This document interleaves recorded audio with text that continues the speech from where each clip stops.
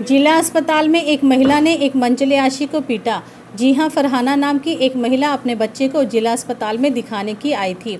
इसी दौरान एक मंचले व्यक्ति ने फरहाना से छेड़छाड़ की। फरहाना ने कुछ देर तो उसकी इस हरकत को नज़रअंदाज किया, लेकिन जब बर्दाश्त की सब हदें पार हो गई तो फरहाना ने सब कुछ भूलकर उस मंचले की पिटाई कर दी।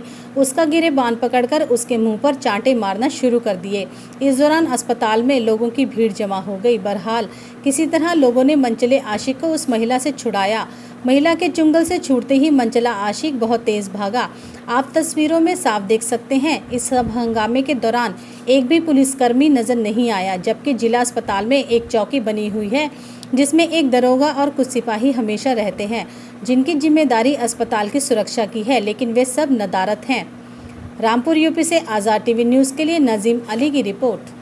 महिला दूसरी ने बताया मेरा पत्नी थी ना उस महिला ने कहा मेरा पत्नी हाथ डाला उसने।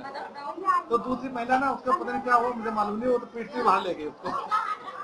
बस मैंने तो देखा। मेरा नाम फरहाना। हाँ फरहाना जी क्या हुआ आपके साथ बताओ। पर्चा देख रही थी। जब मैं पर्चा देख रही थी इसने एकदम से मेरे ऊपर इनके दूसरे ऊपर को धक्का दे दिया और एकदम से ऐसा लिपट के पीछे से मुझसे। तो मैंने मारा फिर अगर ये नहीं पड़ता मुझसे तो ये भागता क्यों फिर? तो भागा बाद में तो कितनी देर से परेशान कर रहा अभी तो एकदम से इसने धक्का दिया था मुझे।